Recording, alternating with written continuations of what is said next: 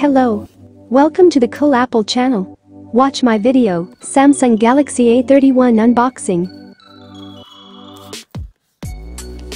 The screen is a 6.4 Super AMOLED panel. Samsung Galaxy A31 is based on Android operating system with One UI 2.0.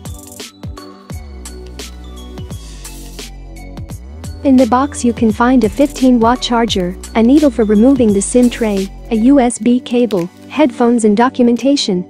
The smartphone is available in three colors, black, red and white.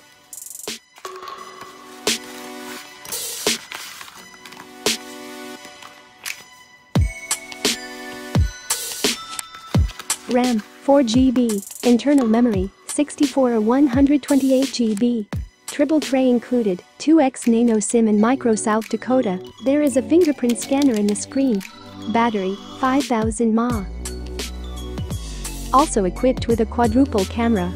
The main module has a resolution of 48 megapixels.